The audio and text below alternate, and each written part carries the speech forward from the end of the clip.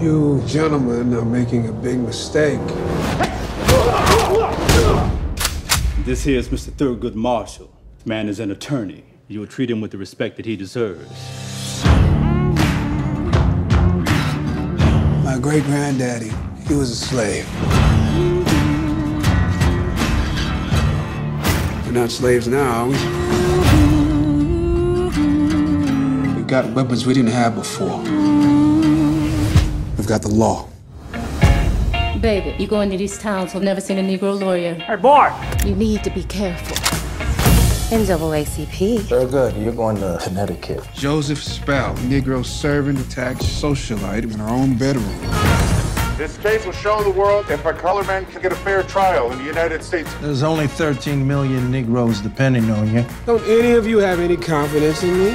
I'd say you have enough confidence for us all. I only represent innocent people, people accused because of their race. That's my mission. I never touched that woman. I need a partner who the jury can relate to. Sam Friedman. Good to meet you, Sam. Hey, give me a hand with these, would you? What have you got in here? Cement? Guns. Books, Mr. Friedman. You just sweep through town, stirring up all kinds of ugliness. My life is on the line here. Hey, Attorney Friedman, hold on a minute. What do you want? You're one of us now, Sam. A real fighter.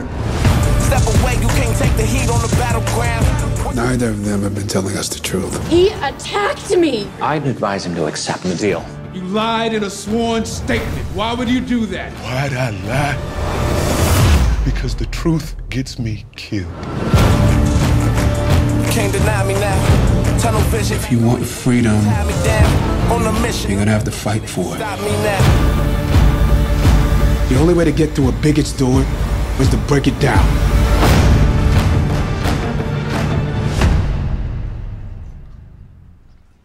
You can't stop me now.